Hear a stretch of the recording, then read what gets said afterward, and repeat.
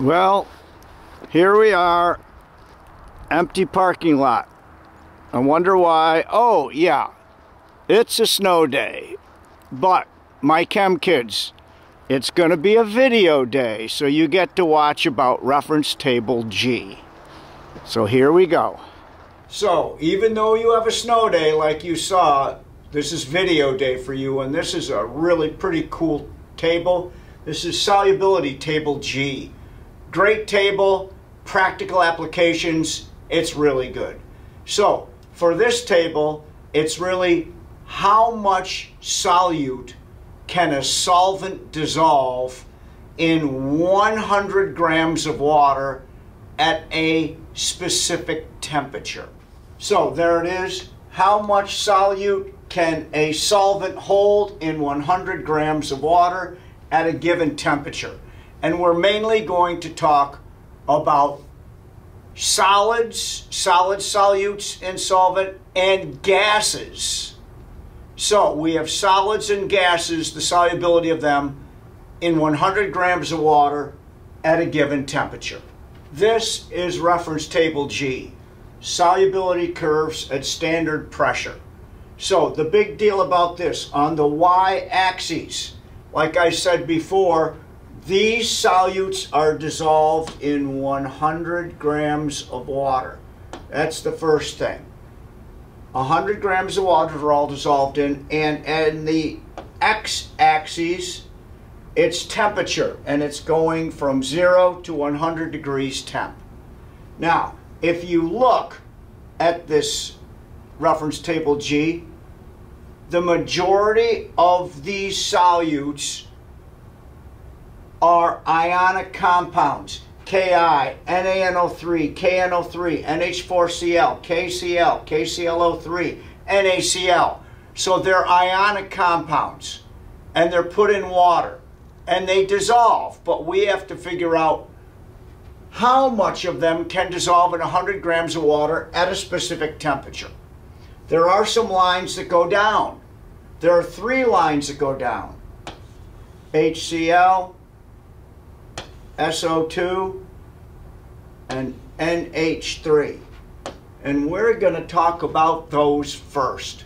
Why would those lines go down when everybody else is going up? So if the line goes down, it means it's less soluble in water, whatever those are. So, the big deal is this. You know that O2 is a gas. It's oxygen and it's a non-polar gas. And you know if you try to put O2 in water, H2O is a polar molecule. And usually polar and non-polar don't mix very well. Okay? So, if you're a lake trout in Seneca Lake in the summertime and it's really hot outside, if you were fishing, you would fish for those lake trout, put your lure or whatever you have down at the bottom. Two reasons. First of all, fish breathe dissolved O2. Well, why aren't they at the surface? Because at the surface, there's very little pressure at the surface and the temperature is much warmer. And think about a pop bottle. CO2 is nonpolar. It doesn't want to be in the pop, which is mostly made of water. So how do they keep the fizz or the CO2 in the pop? Well, they keep the cap on very tight and they put it in the fridge. That will keep the CO2 gas in the liquid. Not a long time, but enough time. So that's the same type of thing that's going on with the fish breathing dissolved O2. So the best place to find a lot of dissolved O2 is at the bottom. Two reasons. Because the pressure is high, like screwing on a cap for the soda, and the temperature's cold, like putting it in the fridge. So, the solubility of a gas in a liquid, to keep it soluble, you need high pressure and low temperature. So that means the warmer the temperature gets, the less soluble the gas. So look, I have HCl, NH3, and SO2. All three of them are decreasing solubility as the temperature increases. So, those three must be gases because their solubility is decreasing. So, if you have your reference table G out, you should be labeling HCl, gas, NH3, gas, SO2, gas. And then in this far upper left corner, the solubility of a gas in a liquid increases with a pressure increase and a temperature decrease. So if the temperature is going up, like I said, the gases in 100 grams of water will decrease in solubility. So that's why those three lines go down and you must know that they are gases. Now, like I said before, the majority of these solutes increase as temperature increases. That's because they're ionic compounds, and that just means for a solid, this. That just means the solubility of a solid in a liquid increases as the temp increases. So you can see the majority of the lines go up. They're ionic compounds, and they're more soluble as the temperature goes up. Now, how do we use this chart? Well, the easiest way is to remember this. The first thing you have to look at in the question is, is it dissolved in 100 grams of water? If it's not dissolved in 100 grams of water, you got to do something. But let's just say this. How many grams of KNO3 can be dissolved in 100 grams of water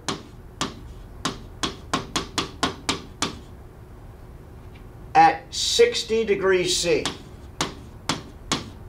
So, the first thing you do when they give you temperature, shoot over to temperature. So I go over to 60, which is right there. Now, the next thing I do is it's 100 grams of water, so we're good. And then I find the line KNO3 is right there.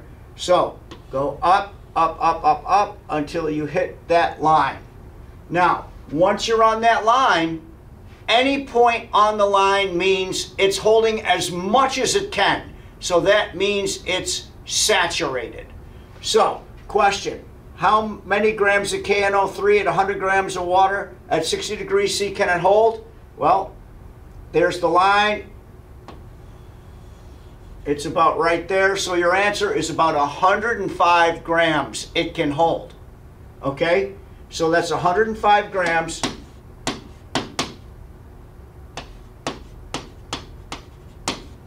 One hundred and five grams it can hold. Now watch. If that were dissolved in 50 grams of water, I'd have to cut the 105 in half.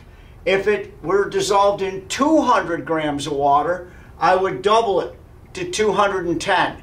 So the amount of water is super important.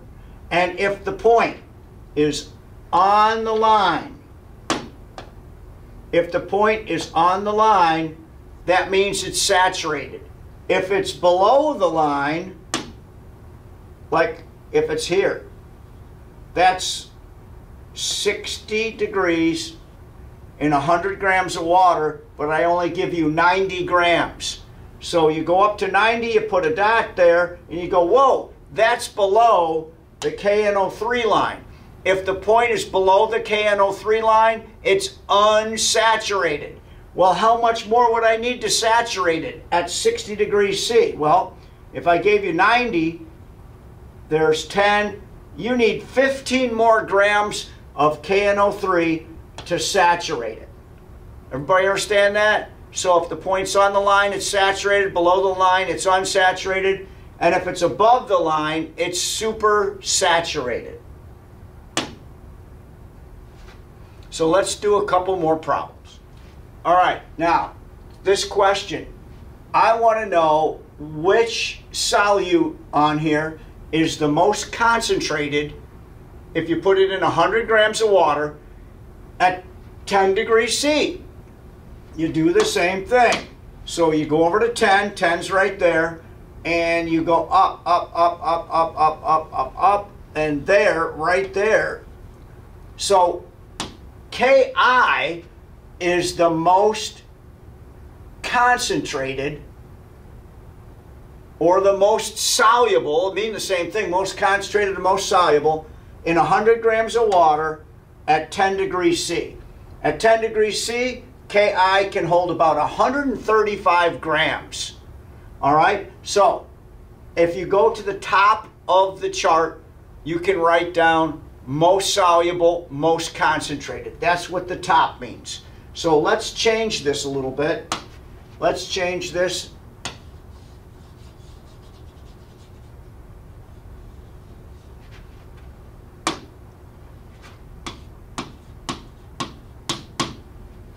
let's just say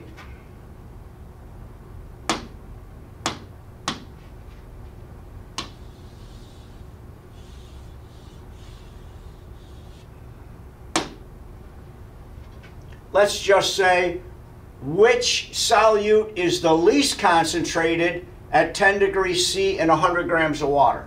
Well, there's our 100 grams of water. We're good with that. And here's 10 degrees. Now, if it's least concentrated or least soluble, it's the lowest. And there it is right there.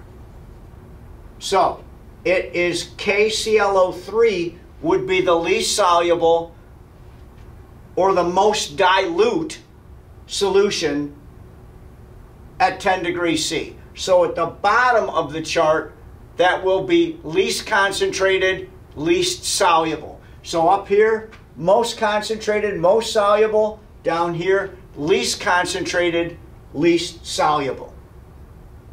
Okay?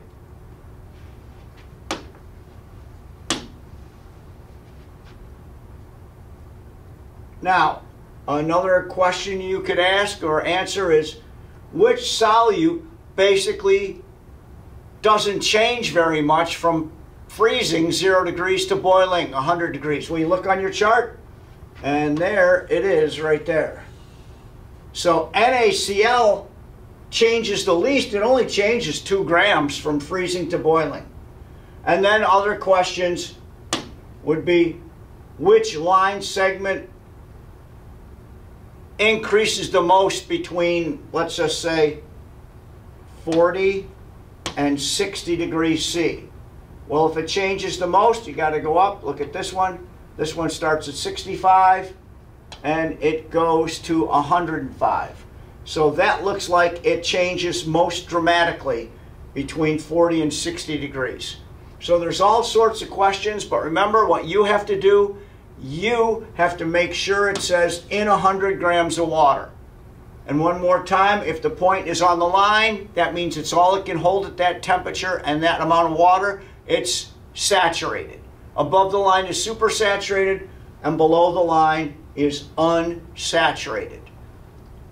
Remember, for gases, as the temperature goes up, their solubility goes down. And for solids, as the temperature goes up, usually their solubility goes up also. So that is reference table G, and we will do reference table F tomorrow if we have a snow day. Again. All right, that's it.